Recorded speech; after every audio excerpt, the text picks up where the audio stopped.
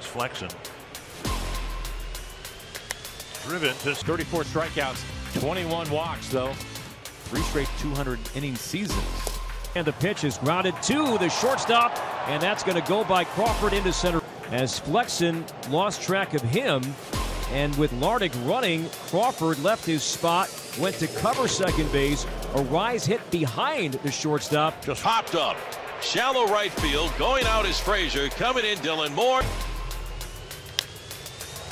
On the ground, Urshela can't hold on to it. A run scores. That's. There's a line down the left field line. That's going to be trouble.